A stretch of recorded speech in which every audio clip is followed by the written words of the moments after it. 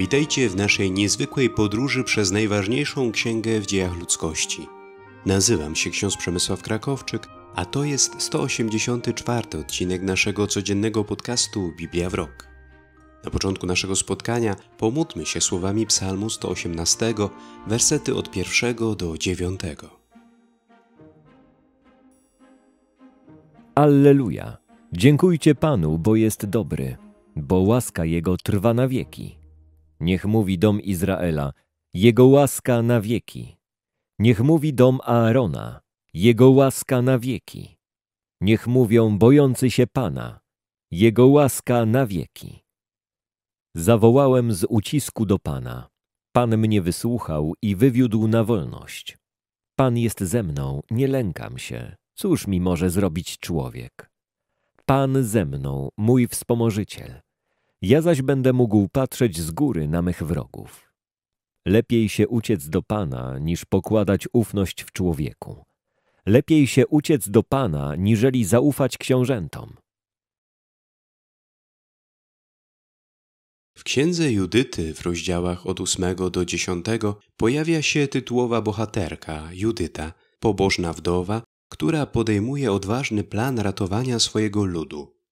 Po gorliwej modlitwie, ubrana w stroje pełne wdzięku, opuszcza Betulię i udaje się do obozu Holofernesa, zdobywając jego zaufanie dzięki swojej urodzie i mądrości. W tych dniach usłyszała o tym Judyta, córka Merariego, syna Usa, syna Józefa, syna Uzziela, syna Hilkiasza, syna Ananiasza, syna Gedeona, syna Refaima, syna Achitoba, syna Eliasza, syna Hilkiasza, syna Eliaba, syna Natanaela, syna Szelumiela, syna Surishaddaja, syna Izraela. A mąż jej, Manasses, z tego samego pokolenia i z tego samego rodu, zmarł podczas żniw jęczmiennych. Stał bowiem przy wiążących snopy na polu i słońce poraziło mu głowę i upadł na swoje łóżko i zakończył życie w swoim mieście w Betulii, a pogrzebano go razem z jego przodkami na polu między Dotain i Balamon. W swoim domu Judyta była wdową przez trzy lata i cztery miesiące. Na dachu swego domu postawiła sobie namiot, nałożyła wór na biodra i nosiła na sobie swoje wdowie szaty. Pościła przez wszystkie dni swojego wdowieństwa, oprócz wigilii przed szabatami i samych szabatów, przededni nowiu i podczas nowiu, oraz oprócz uroczystości i radosnych świąt domu izraelskiego. Była piękna i z wyglądu bardzo miła. Mąż jej, Manasses, pozostawił jej po sobie złoto, srebro, sługi, służące, bydło i role, a ona tym zarządzała.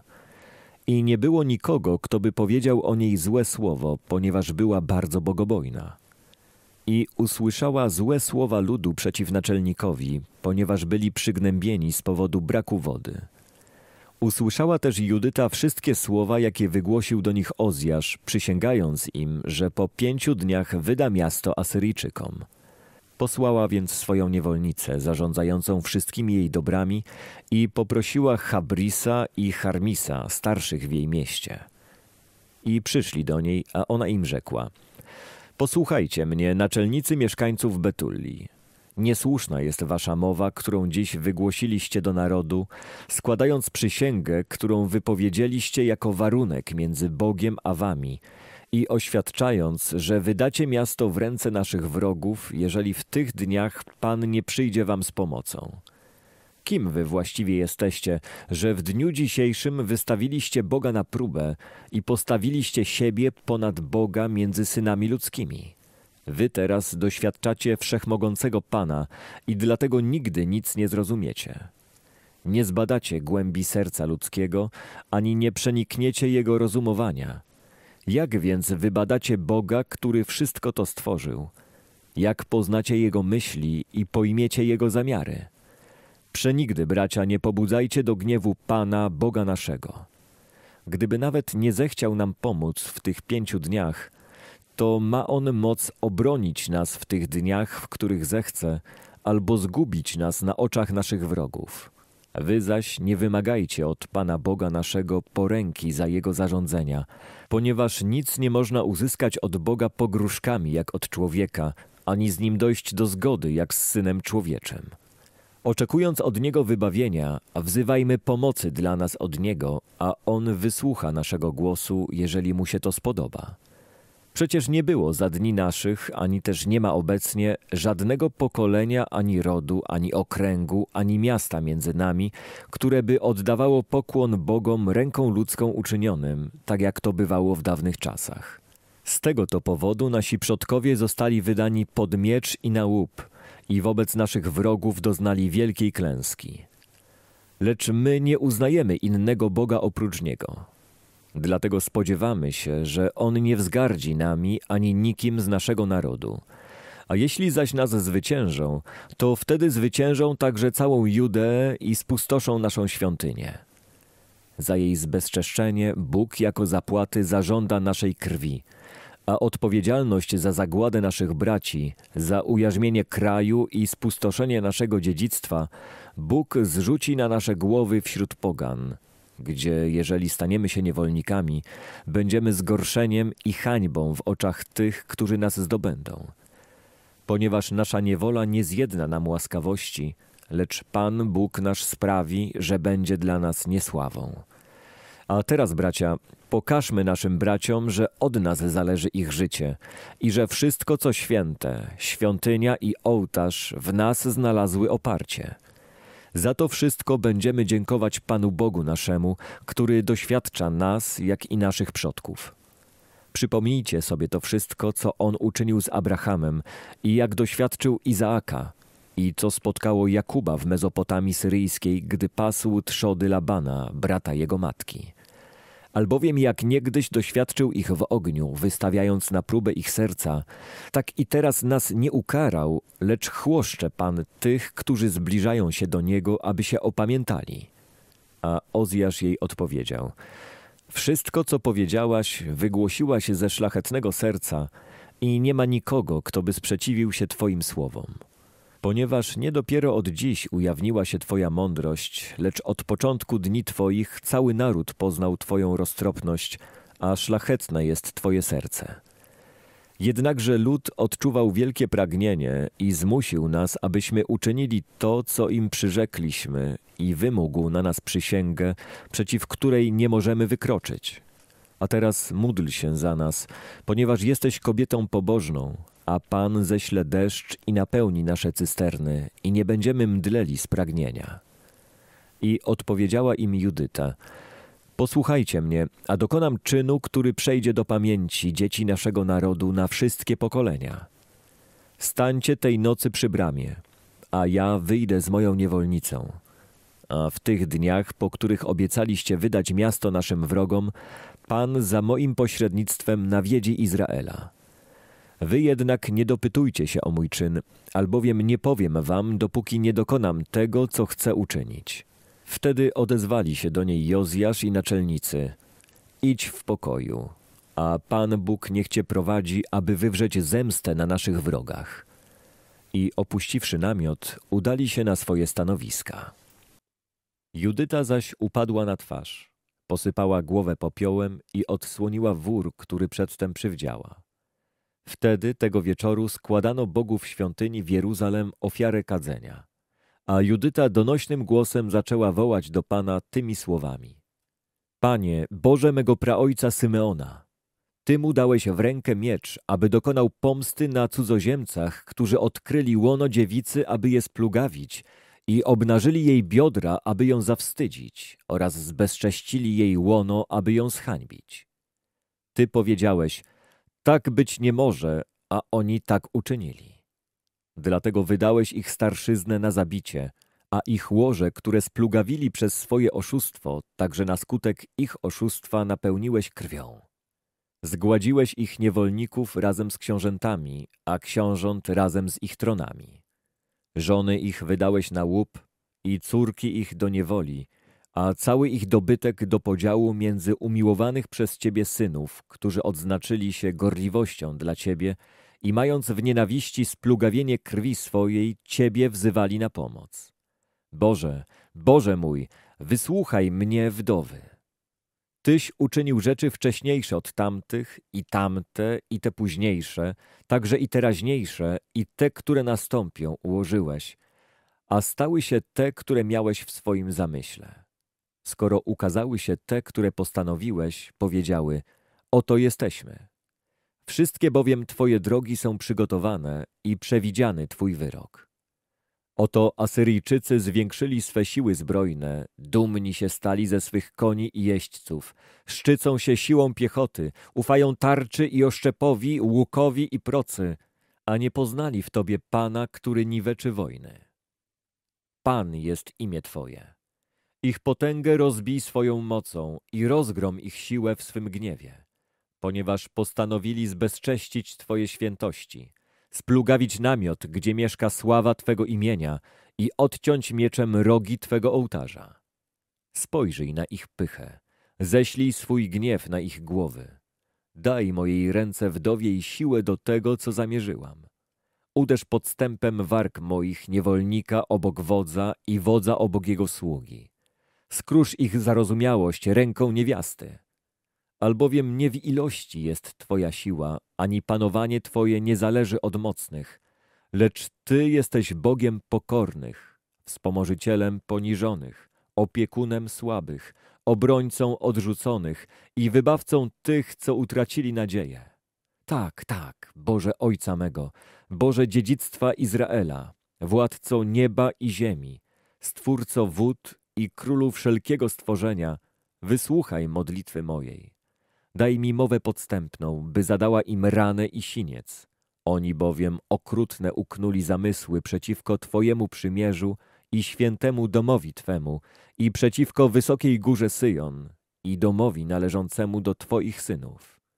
Spraw, aby cały naród i każde pokolenie poznało i wiedziało, że Ty jesteś Bogiem, Bogiem wszelkiej potęgi i mocy i że nie ma nikogo innego oprócz Ciebie, kto by tarczą osłonił lud izraelski.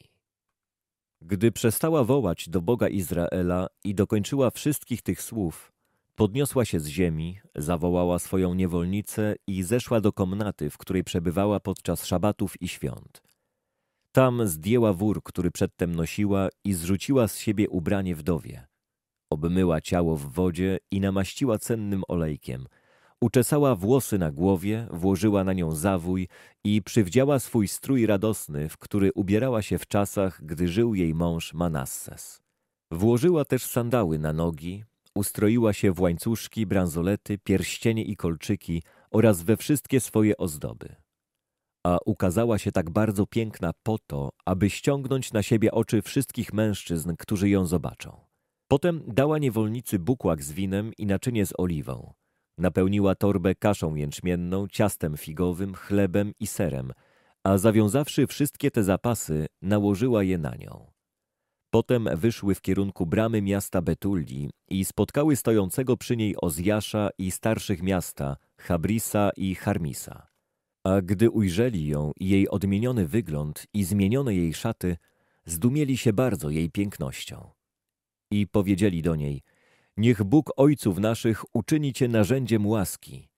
Niech spełni twoje zamiary ku chwale synów Izraela i dla wywyższenia Jeruzalem. A ona oddała pokłon Bogu i rzekła do nich, rozkażcie otworzyć dla mnie bramę miasta, a wyjdę, aby spełnić zamiary, o których mówiliście ze mną. Wtedy polecono młodzieńcom, aby otwarli jej bramę, jak powiedziała. Tak też uczynili. I wyszła Judyta, ona i jej służąca razem z nią. A mężowie miasta patrzyli za nią, aż zeszła z góry i przeszła przez dolinę i już więcej jej nie widzieli. I szły doliną prosto, aż ją spotkała przednia straż Asyryjczyków. Zatrzymali ją i zapytali, do kogo należysz, skąd przychodzisz i dokąd idziesz? A ona odpowiedziała, Jestem córką Hebrajczyków. Uciekam od nich, ponieważ wydani będą wam na łup. Dlatego ja idę do Holofernesa, naczelnego wodza waszego wojska, aby mu zwiastować słowa prawdy. Pokażę mu drogę, którą idąc zawładnie całą górską krainą, a z jego ludzi nie zaginie ani jedno ciało, ani żywa dusza. Gdy mężowie ci usłyszeli jej słowa i spojrzeli na jej twarz, a była ona w ich oczach godna podziwu z powodu wielkiej piękności, wtedy rzekli do niej: Ocaliłaś swoje życie, śpiesząc się, aby przybyć przed oblicze naszego Pana. Idź teraz do jego namiotu, a niektórzy z nas będą ci towarzyszyć, aż przekażą cię w jego ręce. Gdy zaś staniesz przed nim, nie lękaj się w swoim sercu, ale powtórz te same twoje słowa, a on dobrze się z tobą obejdzie. Potem wybrali spośród siebie stu mężów, by towarzyszyli jej i jej niewolnicy i zaprowadzili je do namiotu Holofernesa. I powstało zbiegowisko w całym obozie, bo wiadomość o jej przybyciu rozgłoszono w namiotach. A przychodzący otoczyli ją, ponieważ stała na zewnątrz namiotu Holofernesa, dopóki mu o niej nie doniesiono. Podziwiali oni jej piękność, a przez nią podziwiali Izraelitów. Mówili jeden do drugiego – Któż może gardzić tym narodem, który ma u siebie takie kobiety? Naprawdę nie będzie dobrze, jeśli pozostanie z nich choćby jeden mąż. Gdy bowiem pozostaną przy życiu, będą mogli sprytnie oszukać cały świat. Wtedy wyszła przyboczna straż Holofernesa i wszyscy jego słudzy, a ją wprowadzono do namiotu. A Holofernes odpoczywał na swoim łożu pod zasłoną, która była z purpury, przetykana złotem, szmaragdami i drogimi kamieniami. Gdy więc mu donieśli o niej, wyszedł do przedsionka namiotu, a przed nim niesiono srebrne lampy. A gdy Judyta stanęła przed nim i przed jego otoczeniem, zdumieli się wszyscy z powodu piękności jej oblicza. Ona zaś, padłszy na twarz, oddała mu pokłon, ale słudzy jego ją podnieśli. W czwartym rozdziale listu do Galatów święty Paweł wyjaśnia, że wierzący są synami Bożymi i dziedzicami, wykupieni przez Chrystusa spod prawa i wyraża zaniepokojenie ich powrotem do niewolniczego przestrzegania prawa. Używa alegorii dwóch synów Abrahama, aby zilustrować różnicę między starym przymierzem prawa a nowym przymierzem obietnicy, które daje wolność. A to mówię, jak długo dziedzic jest nieletni, niczym się nie różni od niewolnika, chociaż jest właścicielem wszystkiego. Aż do czasu określonego przez ojca podlega on opiekunom i rządcom. My również, dopóki byliśmy nieletni, pozostawaliśmy w niewoli żywiołów tego świata. Gdy jednak nadeszła pełnia czasu, zesłał Bóg Syna swego zrodzonego z niewiasty, zrodzonego pod prawem, aby wykupił tych, którzy podlegali prawu, byśmy mogli otrzymać przybrane synostwo. Na dowód tego, że jesteście synami, Bóg zesłał do serc naszych ducha syna swego, który woła Abba, ojcze. A zatem nie jesteś już niewolnikiem, lecz synem. Jeżeli zaś synem, to i dziedzicem z woli Bożej. Wprawdzie ongiś, nie znając Boga, służyliście Bogom, którzy w rzeczywistości nie istnieją. Teraz jednak, gdyście Boga poznali i co więcej, Bóg was poznał, jakże możecie powracać do tych bezsilnych i nędznych żywiołów, pod których niewolę znowu chcecie się poddać? Zachowujecie dni, święta nowiu i lata. Obawiam się o was, czy się dla was nie trudziłem na próżno. Bracia, proszę was, stańcie się takimi jak ja, bo ja stałem się takim jak wy. Nie skrzywdziliście mnie w niczym.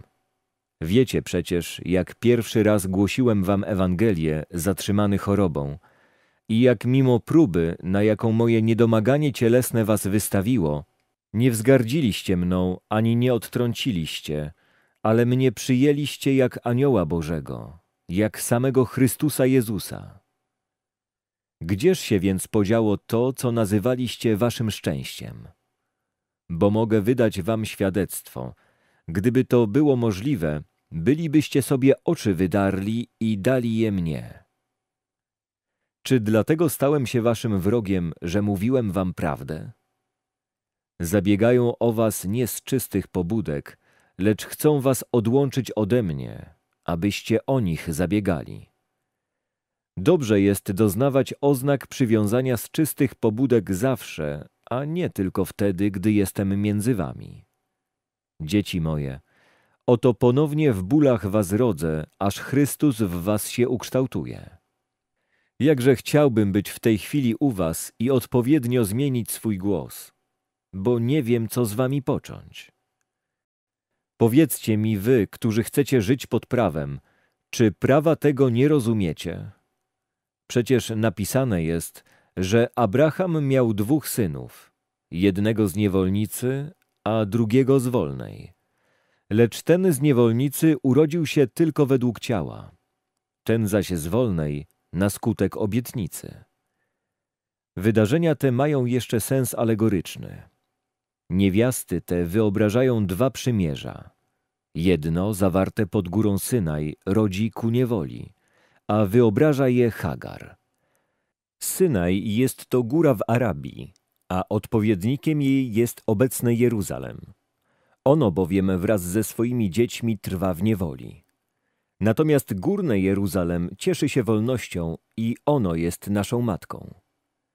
Wszak napisane jest: Wesel się, niepłodna, która nie rodziłaś.